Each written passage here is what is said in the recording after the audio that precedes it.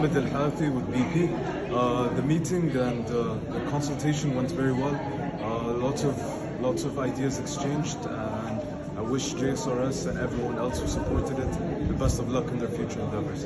Thank you.